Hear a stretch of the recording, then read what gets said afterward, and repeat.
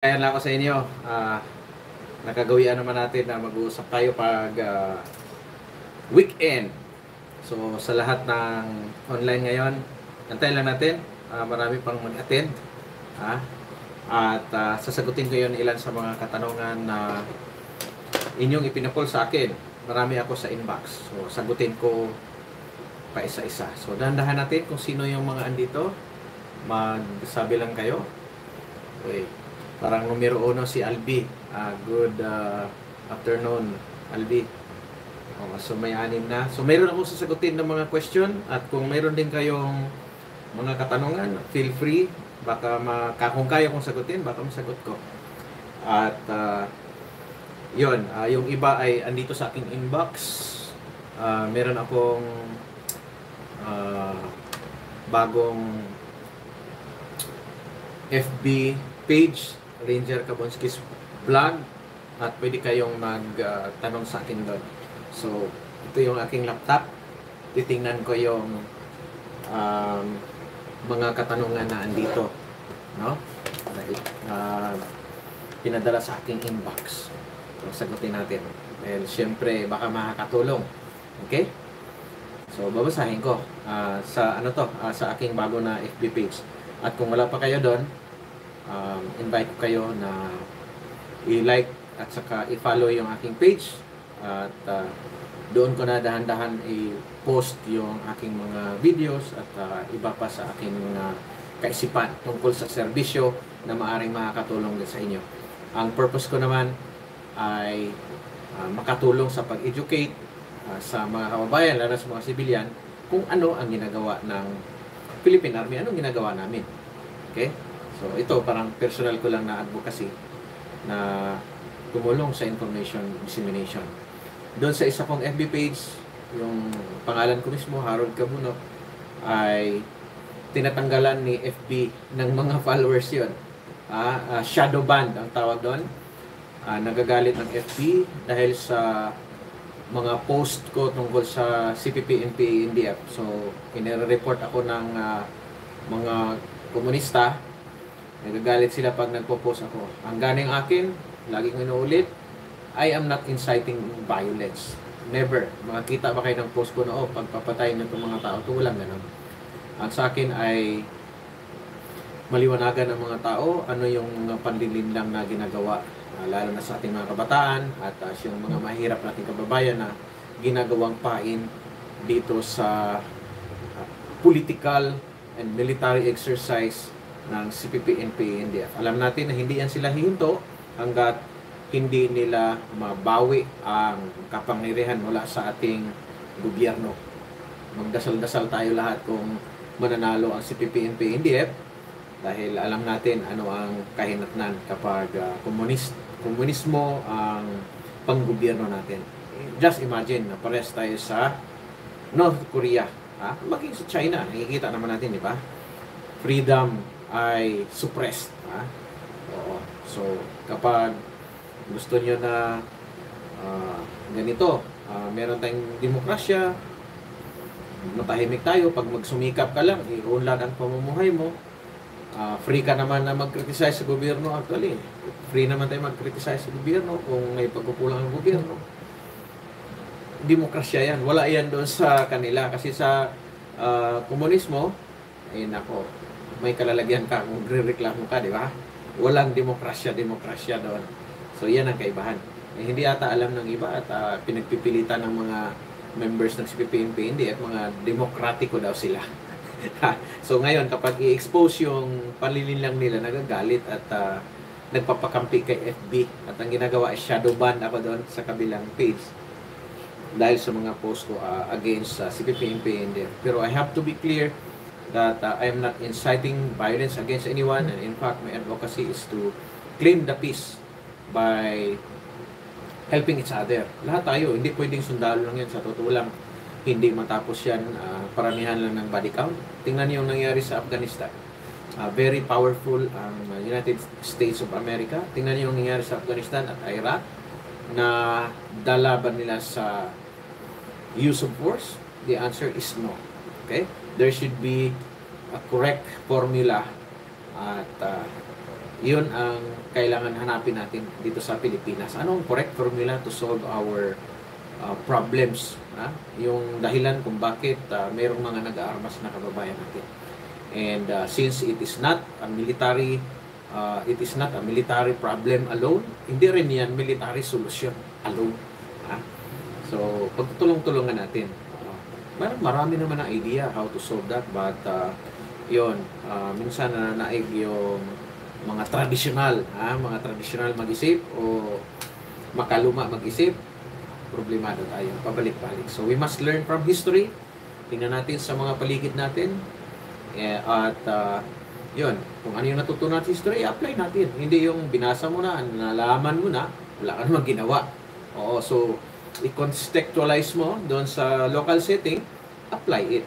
Uh, so ganyan ang mga lessons, no? Ika pa nga ni uh, James uh, the Mad Dog Matis, uh, um, read to lead. Magbasa tayo, learn from history if you want to lead effectively. So, I invite everyone to read books on history, mga lessons na mababasa natin sa kasaysayan, at malaman natin, ma-analyze natin mga kaganapan ngayon na uulit ng nauulit. Sample lang dyan ay ang SAC 44 isa pala sa talakayin ko dyan, no? Uh, yung lesson sa Psalm 44, ang tawag doon ay uh, Pyrrhic Victory. Pyrrhus. Meron tinatawag na si Pyrrhus, isang hari sa Greece, ancient Greece, na gusto niya ma-dominate ang region. No? Gusto niya ma-expand ang kanyang empire. At uh, nagpadala siya ng more or less 25,000 na mga sundalo para sa kanyang military campaign. At sa totoo yan, panalo siya kung sa mga gira na dyan, yung battle. Nanalo siya sa mga several battles na kinakaharap. Itong si Pyrrhus, King Pyrrhus. Kaya lang, along the way, ay nauubos, no? Marami ang naubos sa mga tropa niya ng mga experienced na mga warriors at saka mga leaders. Okay? So, seven, more or less 7,500 ang nalagas sa kanyang mga tauhan. Pero libo-libong mas marami pa, times 5, times 10 sa hanay ng mga kaaway. Pero, anong nangyari? Atras siya. Hin- nanalo siya sa battle, pero sa gera hindi niya masustain. Iba yung battle, iba yung gera. Okay? Yung gera, pang matagalan yun. Matapos mo lahat na, na manaig ka doon pag battle yung specific lang ng mga inkwentro, battle ang tawag dyan. So yung kaibahan ng battle at saka war. So matras si Pyrrhus at uh, doon na nagmula ang term na Pyrrhic victory.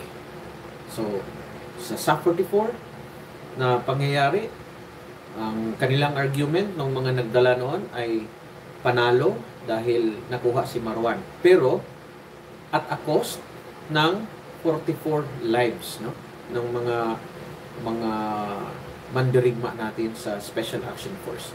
Isugal mo ba yung 44 doon sa isa lang na ang isa pwedeng palitan ngayon eh. Si Marwan can be replaced with another one. So, in fact, pagkatapos ng nawala si Marwan, hindi nawala ang uh, suicide bombing kasi na-multiply na niya ang kanyang sarili. Meron ng mga kapalit. Okay? So, maliban doon kay uh, uh, Basit Usman ay meron ng mga iba't iba pang kapalit. Ayan, si Salahuddin Hasan at uh, merong iba mga nakilala ko nung uh, when I was uh, there as a battalion commander. So, hindi natin isugal ang napakaraming tao para makamit mo yung tagumpay. Parang ano lang yan eh. Meron kang uh, gustong makamit sa buhay, Uh, nakuha mo nga siya, pero isinugal mo lahat. Isinugal mo yung pamilya mo, isinugal mo yung uh, mga kaibigan mo. Ibig sabihin, nawala lahat ang kapamilya mo. At uh, yung uh, mga kaibigan mo, nawala lahat ng kaibigan mo. Example. Grabe yung pangarap mo na, say for example, ikaw ay mag-general para magawa mo, makamit mo yung uh, yung uh, inaasam-asam na mong general, suot-suot mo yung star sa iyong balikat, ay subsub ka sa trabaho, gira dito, gira doon ang ginawa mo, napabayaan mo ng iyong pamilya, hindi ka na nga marunong tumingin sa mga kaibigan mo, hindi ka na kilala. Ay, ay, di ba? Kahit na nakasuot ka ng maraming star diyan. pag hubarin mo na yung yung uh, uniforme, si mag-retire ka rin, doon mo ma-realize, wala nang namamansin sa'yo. You lost everything. So, ano ba talaga ang importante, di ba? So, yun ta example na masabi ko, Pyrrhic victory. Nakuha mo mga star, apat ba yan? Tatlo?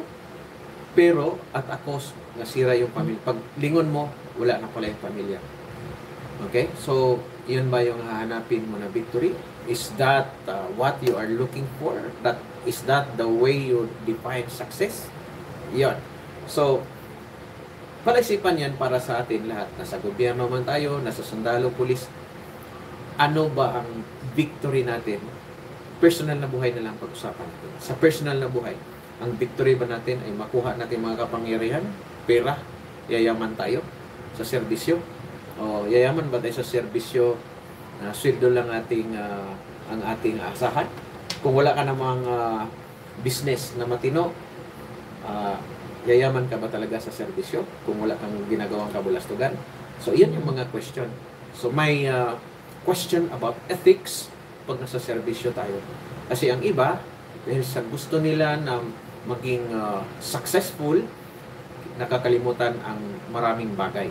Okay? Maraming bagay. So, example dyan ay uh, uh, matapat na panunungkulan, maging mahusay. Nangyari, panglalamang na lang, gumagamit ng uh, kung ano-anong mga koneksyon, panglalamang, at uh, uh, nang babalasubas no, sa serbisyo, uh, nakakalimutan nila yung sino pa ang tungkulin. Nalimutan. Okay? Yung maging matapat sa ating bayan. Naging successful, naging mayaman, maraming star sa balikat. Pero ang tanong, yan ba ang tagumpay na hinahanap natin? Di ba? Maaring hindi, di ba? Pag uwi mo sa bahay mo, wala na yung pamilya mo. Oo, magulo, adik yung anak mo. Tapos, hindi nakatapos sa pag-aaral. Nagkaiwalay kayo ng misis mo. So, maraming, ha? Maraming uh, kang mag-imuni-muni. Okay? So, tayo nasa serbisyo, oh, lalo na sa mga junior officers, mga sundalo, kasi maraming uh, uh, magagaling sila, mga mandirigma, kinikilala, may matataas na awards, Gold Cross, Distinguished Conduct Star, Valor ba yan? Tapos, ang gulo-gulo ng pamilya. O ganun ba yung hinahanap natin na re-respetohin natin? The answer is no. Kaya, sagutin ko yung unang tanong dito. May nagpadala sa akin, no? Uh, related pa rin to doon sa uh, sa sinasabi ko about uh, how do we define success ha? sa ating buhay. May isang misis dito. Ang tinatanong niya, uh, yung PBB, bonus yan, bonus yung PBB. Ang PBB ay binibigay yan sa mga sundalo. Basically, lahat nakakatanggap. So, may rating kami based on our performance. Ang rating namin ay either good, better, best, So, may good, better, best sa personal level sa bilang individual soldiers at merong good, better, best bilang units. Okay? So, bilang units, may sukatan sino yung good, better, best. Sino yung best performer na units. So, kung ikaw ay nasa isang uh, best performing unit, yun yung pinakamataas na makuha na bonus. At kung within that unit ay best ang rating mo uh, sa yung halimbawa sa sundalo EPEM yan no? Sa enlisted branch EPEM nakuha mo best eh, di mataas ang makukuha mo. Ikaw yung pinakamataas among depende sa rango kasi. So yan lahat makakatanggap. Ang tanong kasi nitong uh, isang misis sabi niya sir totoo ba ang sabi ng aking asawa na bilang korporal ay hindi siya nakakatanggap ng TBB. Oo, yun daw, sabi niya. So, ang sagot diyan, eh, sinungalingan yan. Ah, lahat makakatanggap. Okay? Ang hindi makatanggap, yung discharge sa serbisyo. O, kapag nasa serbisyo ka, makakatanggap ka.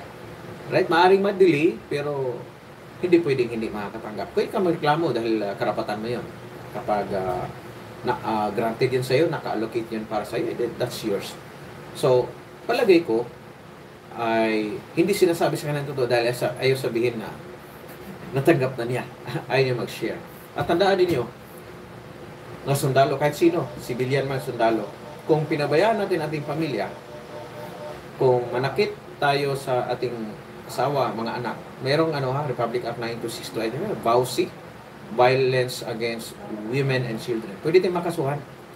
At ah, kung ikaw ay nasa active service at makasuhan ka ng VAUSI, pwede tayong matanggal sa serbisyo. Okay?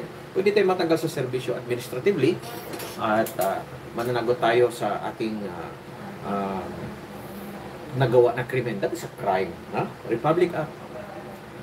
I, I think that is 9262, yung VAUSI.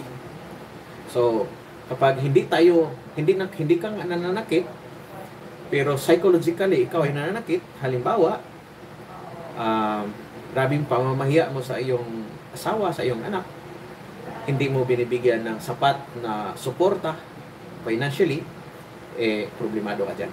Ha? Problemado ka dyan. So, yan. Ah, kung bakit hindi man suportahan, maraming rason siguro kung nag-away kayo, whatever. Hindi kasalanan ng ating ah, mga anak kung may issues kayo mag-asawa. So, huwag idamay. Ibig sabihin, ay siguraduhin na makarating sa kanila yung sapat na suporta na nararapat. No? May competition. For example, mayroon kang dalawang anak. Kung ang ibinigay mo na suporta doon sa pamilya mo, eh 5,000 ano yan, di ba? Ang aso nga ngayon, eh, baka dalawang libo per month, bawat aso. Eh, meron ka pang mga pa-injection, ganito, ganito, ganyan, may purga ka pa. O, what about 5,000 lang ibigay mo sa iyong pamilya? Pakainin mo, pag-aralan mo, bayad kuryente, tubig, marami. Ha? Pagkain pa lang, di ba? So, yan, yan ang mga, mga sinasabi ko na ah, kung hindi sapat ang ibinigay, merong standard yan, nagko-compute yan, lalo ng abogado, obisado yan, di ba? Kung hindi mo sapat ang iyong binigay, eh magka-problema ka. Ha? Pwede kang kakasuhan. So, eh, nakakalungkot na merong ganon na nasa serbisyo, snappy ka nga, tandaan nyo, snappy ka, nakasuot ka ng uniforme.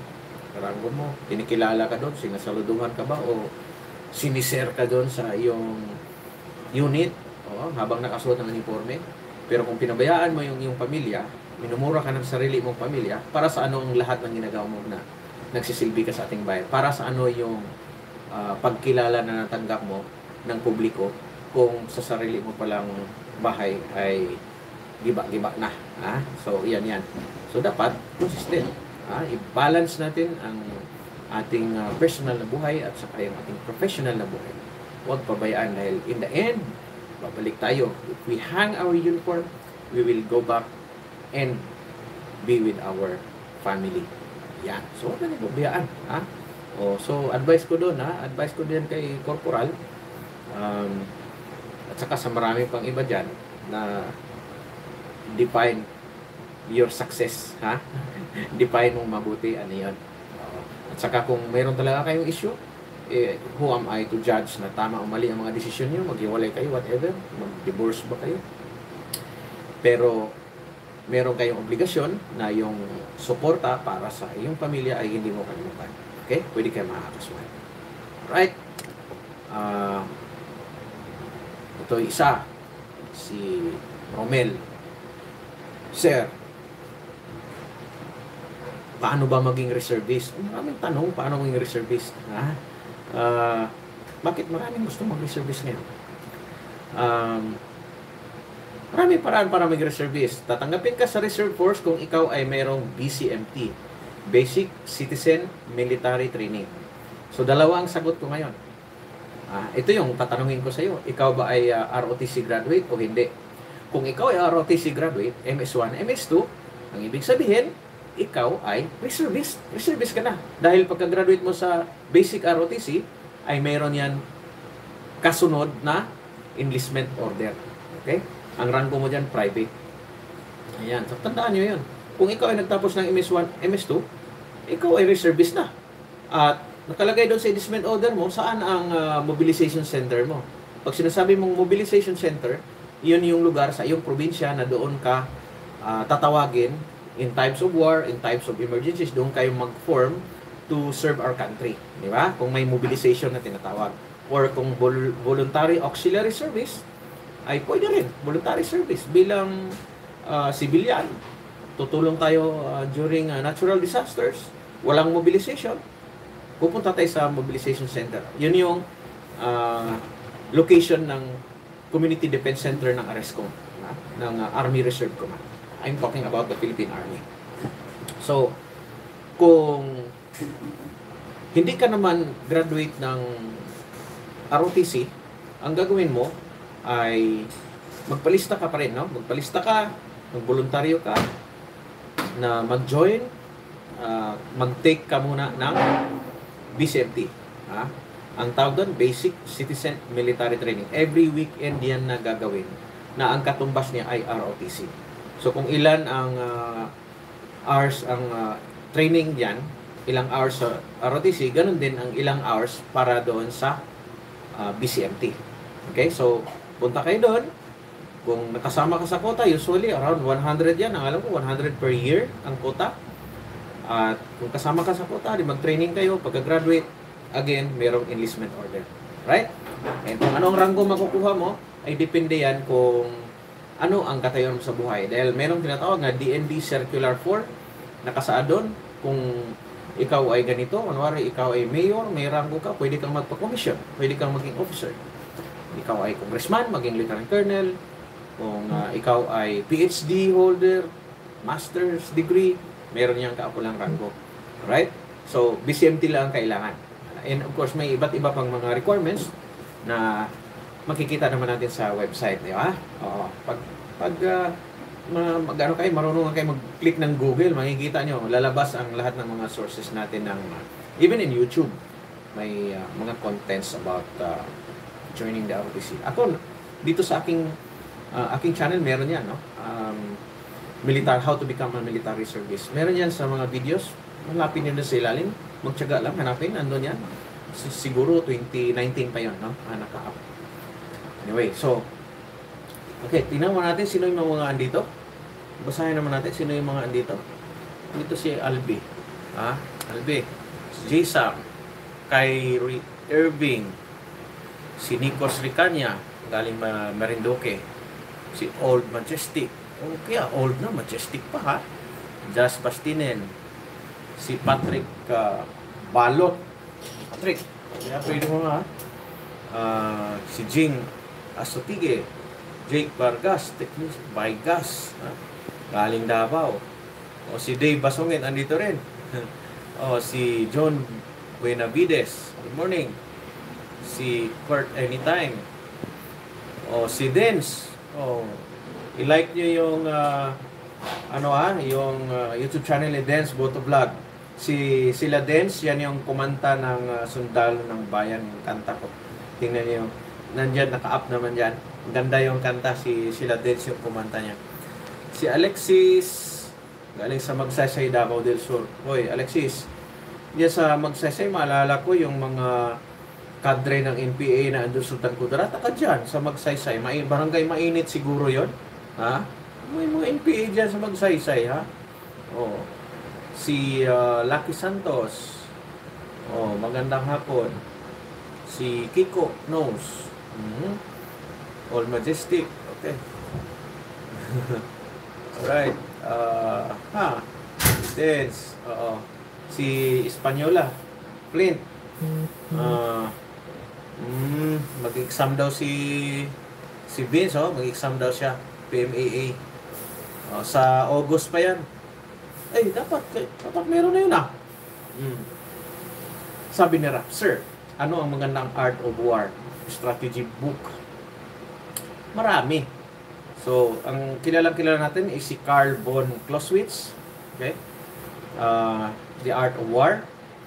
Tapos, uh, si uh, Jomini, yeah, mga libro na, is Jomini, and of course si Mao Zedong. Basahin niyo yung, maganda yung mga ideas ni Mao Zedong ha. Hindi magsabihin komunista ka po. Komunista ka na agad dahil nagbabasa ka ng libro about communism. Okay? So basahin niyo yung kay Karl Marx, kay uh, Mao Zedong, okay? Oh, yun yung mga ano, um, mga good to know, ah, yung mga uh, strategic uh, books, strategic thoughts, no? ng uh, mga kilala na mga military theorists. Okay? And of course, history. Basa ka history. Para marami kayong matutunan. Sabi ni The Greater Philippines, shout out daw from Valencia City. Oh, Musta kayo sa Valencia? Marami raw kayong mga COVID dyan ngayon, infection, ha? Ingat kayo. Oh, huwag kumpiyansing, ha? Hmm. Regala. Uh, pwede raw siyang mag-serve kung may cleft palate, ngungo. Uh, hindi pwede sa regular force, no? Hindi pwede. Pwede yan sa reserve force lagi ko pwede sa reserve force. Walang pipiliin sa reserve force basta, basta able-bodied. Gustong mag-serve sa ating bayan. Pwede yan. Ha? Pagdating sa emergency, wala nang titingnan. Kahit makapansanan ka dyan, lumaban tayo para sa ating bayan. Di ba? O ganyan yan. Hmm. Sabi ni Kurt Anim, Anime, Uh, pwede bang magsunda, mag-PMA ang malabong mata? Malabo. Malabo ka matanggap. Dahil dapat 20-20 vision doon. At saka hindi ka dapat uh, uh, colorblind. Ha? Yan ang totoo dyan. Mm. Okay. Si ano?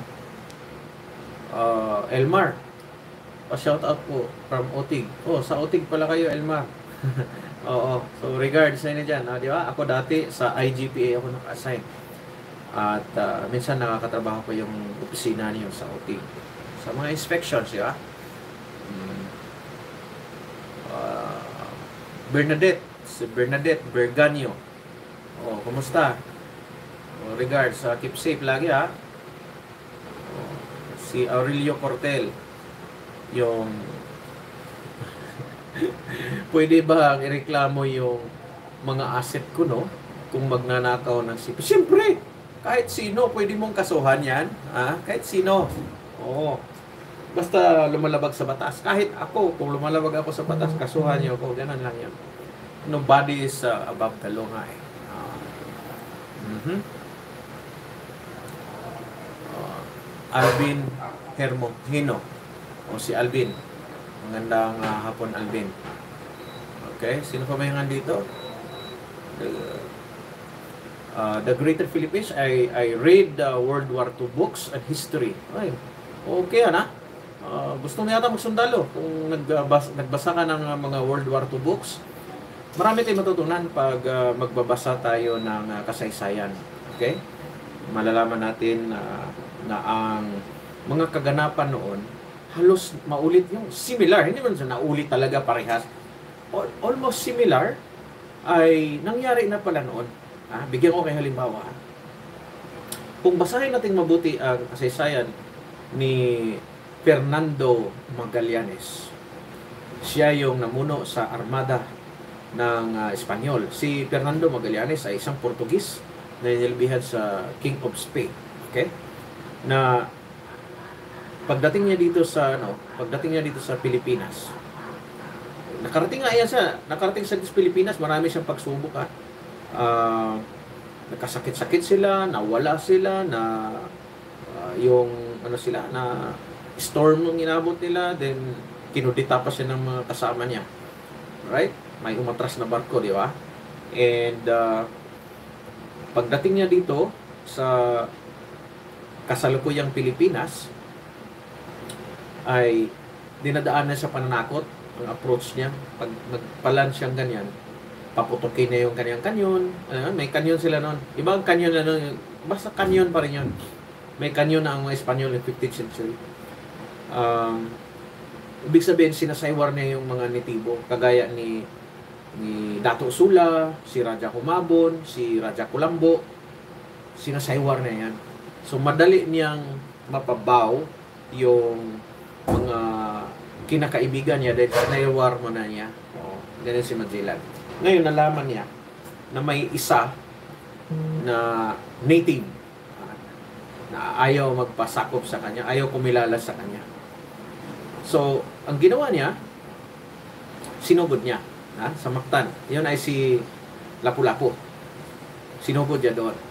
At sabi ni Humabon, tutulungan kita. Dahil kaaway ni Humabon din yun. Ay, ayaw rumispeto kay Humabon si Lapu-Lapu.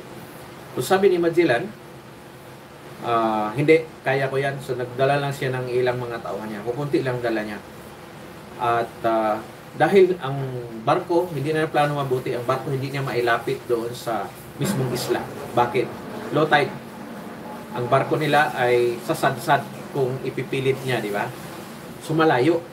Sabihin natin mga more or less 2 kilometers. 2 to 3 kilometers. At ang kanyon niya ngayon, sa panahon na yon, ang kanyon ay hindi makaabot ng tatlong kilometro, dalawang kilometro. So si Magellan, ibig sabihin, pag land nila, nalimipat sila sa mga maliliit na bangka, pag land nila doon sa Mactan, ay wala silang artillery support. Ha? So, i ano nila to sa kasalukuyang pangyayari ha, kasalukuyan ngayon. Wala siyang artillery support. So, idaan na sa, may armor naman sila eh. Ito, tapos, ang mga kagamitan nila ay ah, mas maganda kaysa gamit nila lapu-lapu. Sila lapu-lapu ay karamihan bangkaw lang. Kawayan nga lang yung iba doon. At saka mga itak, mga pinuti. So, sa Mactan, hindi naman lahat ay mga warrior nila Lapu-Lapu. Ngunit, paglapit nila Magellan doon, may initial encuentro no, may casualty sila, pero sinugod nila ngayon yung beaches. Pagsugod nila doon sa mga bahayan sa along along the coastline, pinasunog ni Magellan. So nung nakita ng mga tao na nasunog yung kanilang mga bahay, pati ang mga sibilyan ay nagtulong-tulong na sila lahat kahit hindi naman sila tauhan ni Lapu-Lapu. So nagtulong-tulong silang lahat para sugurin kahit na ano ang dala na nila doon. Kahit ano na ang dala nila. Itak, kahoy, pamalo, whatever. Sibat. Na? So in short and simple language, na pingtakasi. Na? Pinagtulong-tungan ng lahat. Walang suporta. Ayaw rin niyang makipag-coordinate, collaborate kay Humabon, di ba? Ayaw niya kasi kaya namin to. So, kung i-analyze mo, yung pangyayari yan noon in uh, April 20, on April 27, 1521. Yan yung uh, Battle of Mactan. April 27, 1521. Hindi yung kanta ni sino to si Yoyo Villame, March 16, 1521. Mali yung kanta niya eh. Uh, April 27. So yung ano na yon, yung uh, kaganapan na yon. Una, walang artillery support. Pangalawa, kukunti lang sila. Pangatlo, hindi sa kanya yung mga tao doon. Pwede niya makalaban ang kahit na sino doon sa Mactan Island. Kasi siyempre, Espanyol man siya, di ba? Hindi naman siya, ano, hindi naman siya Bisaya. So, ma potentially, maging kalaban niya lahat yon kung mayroon siyang gagawing aksyon. Ang sunod ay hindi nga uh, hindi niya uh, pinlano na meron siyang uh, meron siyang kakampi na puwersa. Okay? Hindi niya pinlano. At ang kakampi niya doon ay si Dato Sula at saka si Raja Humago. So, in short and simple language, failure. Okay? Hindi niya napatay si Lapu-Lapu at halos ma-wipe out sila. Okay? And uh, yung lesson na yon ay nauulit ngayon. Ha? Nauulit ngayon. Na, na, na kikita niyo ba? Nauulit ngayon sa mga panahon na to. So kung ikaw ay nagbabasa ng kasaysayan, para sa akin, ay mayroon kang mapupulot ng mga lessons sa personal na buhay, sa pakikidigma, sa pakikitungo sa ibang mga tao. Mapupulot mo na yun dahil nangyari na yun noong unang panahon. At kung ano yung nangyari noong 1521 kay Magellan, ha, pinagtulong-tulungan siya ng lahat ng mga taga-Mactan at tigok siya doon. Dahil ang suporta ng mga tao ay andon kay Lapu-Lapu, kay parehas man silang Bisaya. Ha? Kung titingnan mo, kagaya ni Magellan na dinadaan sa malakas na puwersa. Ganon din ang nangyari sa Amerikano sa Afghanistan at saka sa Iraq. Sa Afghanistan nakita natin ang kaganapan ngayon sa Afghanistan. Nanaig ang, talaib, ang Taliban, atras ang Amerikano after 20 years. Ang tanong, may victory ba silang nakuha? Anong ano ba talaga ang na-achieve nila doon? Okay? Hindi ito kasalanan ng mga sundalo na nagbuwis ng buhay doon. We salute them and uh, we honor we always honor their uh, sacrifices ng mga sundalo. Pero yung yung mga tao na sa political strategic level na siyang nag-uutos sa armed forces para lumaban at ang mga sundalo naman dahil nanumpa kami sa aming tungkulin na lalaban kung kailangan to achieve a political purpose ay doon nagkakasingilan ngayon ha na sinong may pananagutan dito. Dahil sa level ng mga sundalo kung magkasala ang isang sundalo isang opisyal court martial ang abutin namin di ba? Meron kaming military justice system. May may kapalpakan akong ginawa bilang isang commander ay pwede akong mananagot no? Sa court martial.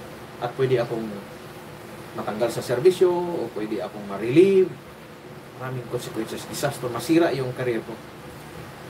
Sa mga nag-uutos therefore sa mga political masters na nag-uutos para ang sundalo ay lumaban at uh, nagresulta sa isang uh, hindi ka nais-nais kapalpakan na hindi ka nais-nais na pangyayari maraming nagbuwis ng buhay bakit walang nananagot doon sa higher level. Di ba? Palaisipan. So, yan yan. So, I, I really encourage you to read history. Marami ng mga uh, pangyayari na ganyan na dadaan sa uh, kayabangan, astig ako, as patay. Meron ako isa pa. Uh, pahiritan ko kayo. Isang general na hindi naniniwala na matamaan siya sa sniper. Okay? Sa US, during the Civil War, ay meron ding isang general na napatay ng sniper dahil hindi siya maniwala na aabutin ng bala ang uh, kaniyang layo, no? At yung general na yon ng US ay namatay during the Civil War. Ngayon, pagkatapos ng Civil War, ang US ay nanakop nanakop ng bansang Pilipinas. Okay? After the 1898 uh, uh, yung uh, treaty with uh, Spain, binili nila sa halagang 20 million pesos o dollars, 20 million dollars ang Pilipinas. Okay? So, in short, parang nagpalitan lang from one uh, colony, colonist to another colonist another imperialist. So, ang mga Espanyol, starting in 89 uh, December after December 10 1898 yung uh, Mac Battle of Manila. Uh, ano yun? Kunwari ilang nagira yun after the Mac Battle uh, of Manila ay Amerikano na ang lumaban dito. At along the way isa sa pinadala dito sa Pilipinas ay si Henry Lawton General Henry Lawton at sa Battle of San Mateo, sometime in, I think that was September 1899, siya ay sinasabihan ng kanyang mga tao, Sir, General, baka abutin ka ng mga baril ng mga sundalo uh, na Pilipino. Baka abutin ka. Ang uh, mga tao ni uh, Liserio, General Liserio Hieronimo. Sabi na, hindi. Minamaliit niya. No? Parang si Magellan lang din. Hindi, maniwala ka dyan. So, ganun din ang sinabi nung general sa American Civil War. Hindi yan makaabot. O, hindi yan, mga bano yung mga Pilipino guerrilla yan. Hindi yan, wala yan. Sila training, bla bla. Hindi niya alam na ang mga Filipino guerrillas ay tinuruan, pinaturuan ni General Antonio Luna. Ah, si Luna ay isa sa mga Filipino revolutionaries na talagang nag-aral on uh, military tactics at nakakuha sila ng ibang mga mga Spanish Moser na ibig sabihin, ano yon pwedeng pang snipe na during that time. Makatama ng mga 300 yards, 400 yards, no? So, ayaw maniwala ni Henry Lawton, kaya siya ay natigok, natamaan siya. Bakit? sa kayabangan niya, gusto niya makita na siya si General at he is leading from the front. Ang suot niya ay may puti sa kanyang helmet at yung kanyang raincoat, mula nun, parang raincoat niya, ay kulay yellow. Ba yung kagustugan na yun? Camouflaging nga, di ba? Dapat. Camouflage and concealment. Sa kanya, gusto niya makita siya. So, kitang-kita na siya yung general. So, ibig sabihin, napakagandang target paper. Ah, aiming point ay clear ang aiming point. Ah, yung target, klaro para sa kagaya ni uh, si ano si uh, uh, sa tropa ni ano uh, yung Tiradores de la Muerte yung sharpshooters of death ni Antonio Luna na pinamunuan ni Licerio Geronimo. So, in short, namatay. Inulit niya ang nangyari kay Magellan, ah, nabangkaw, ah, napana ng mga Spanyol. Naulit yung nangyari sa American Civil War, ha, yung uh, kanilang uh, gera sa US no? At naulit noong 1899. So yan namang sinasabi na history repeats itself. Hindi naman na parang maulit ang similar talaga maulit pero almost the same. Uh, almost the same. So uh, with that argument, uh, kailangan magbasa tayo. Basahin natin ang pangyayari noon dahil yung mga aral na makukuha natin doon ay mag-inform sa ating mga decisions ano ang pipiliin natin ng mga options natin sa para sa personal na buhay o kaya kung sundalo tayo dapat bang magplano bago magmisyon? Dapat bang may kakampi ako? Dapat bang mag uh, makipagdigma ako with an unfair advantage? How do I use force appropriately? Mga ganon. Ah, so mag, ang mga aral na yan ay meron na yan noon. At sa kasalukuyan nga, kung magbasa basa-basa tayo ng contemporary history, ay makikita na natin ang mga lessons sa kagaya ng Operations Anaconda sa Afghanistan. Makikita natin sa ano ang nangyari sa Western Front na kung saan ay milyon ang nawalang buhay ng ating mga kasamang mga mandarigma, mga nasa serbisyo, na nasa allies, uh, among allied forces, France, Germany, okay? Americans, no? World War 1, World War 2. At ano yung Pyrrhic victory ng uh, Russians against sa Germans, sa Eastern Front. So, yun ang mga aral na makikita natin. And uh, by reading these accounts, may mapupulo tayo. Alam na, natin dapat how to draw the lessons And pag naka-take note tayo ng mga lessons, pag na, napunta tayo sa similar situation, ay mayroon kang guide. Ganito diskarte ko. Uh, so, i-adjust mo ngayon yung solusyon based on the lessons, i-adjust mo ang solution mo sa kasalukuyan ng mga conditions. Ah, ganyan ah. So, therefore, I agree, we must, yung si sino yung kanina, nagbabasa, sabi niya, I agree diyan sa ginagawa mo na nagbabasa ng history. Uh, si ano, the Greater Philippines, wala kang pangalan. Oo, yon. So, si Lucky Santos. Yan. Oh, yan. Sa'yo, Dave, oh, yung tungkol sa dynamics ng CPP, MPA, uh, MDF, recruitment, importante yan. So, i-share mo yan sa iba. Dave, ba? Si Dave Basungit, uh, binigyan ko ng uh, libro para uh, siya ang uh, mag-share sa mga kabataan diyan sa Ilocosur. Mm-hmm. Okay. Alright. Si uh, Sarge Omar uh, galing sa Abu Dhabi. Hindi pa ako nakapunta sa Abu Dhabi eh. Uh, nakapunta ako sa Qatar pero hanggang airport lang ako. Pagpunta ko sa Qatar, sabi ko, ay yes, pati sa Dubai. Pagpunta ko doon, bah, parang sa Pilipinas ako. Ah, kasi pupunta ako sa duty free, Tagalog mo ng mga lahat mga tao napakarami mga OFW, halos lahat mga OFW. Pag mga tipong uh, technicals na trabaho, eh, mga Indian naman. Ah, yeah. Pansin niyo ba yan? Oh. So, yun. Uh, regards sa inyo dyan ng mga kababayan diyan sa ano ha, UAE. Kulo tamam. Kulo tamam. Yan. Oh, pa-shout out Almodovar uh, family. Ano yan? Almodovar family from from where? Kilala ko si Pedro Almodovar, artista yon. Oh. Kong TV watching with Taliban group. Uh, mahina yung president ng US. Inuna ang sundalo kaysa civilian sa pag-alis. Uh, nako, diskarte nila yun eh. So, uh, nakakalungkot, di ba? Uh, may mga political decisions na ginagawa. Yan nga, yung mga civilian na masters na naapektuhan yung mga ordinaryong uh, mga mandirigma agay mga sundalo. So yan yan. So huwag natin sisihin ang US Armed Forces dahil sumusunod lang naman sila sa political decisions. Okay? Mix Vlogs. Official shout out daw. Mix Vlogs. Hmm. Sa sundalo na may laing posisyon sa sundalo. Maraming posisyon sa sundalo. Si Jandra Cole. Oh.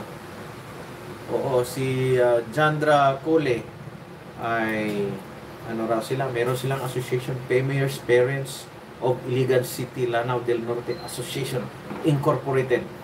Maraming taga-Iligan ng mga ano, ha, na graduate sa Philippine Military Academy. Mag magpangalan ako, magpangalan ako ha, ng ilan na taga-Iligan ha, yung maalala ko lang. Si John Patria, PMA class of 1995, ha?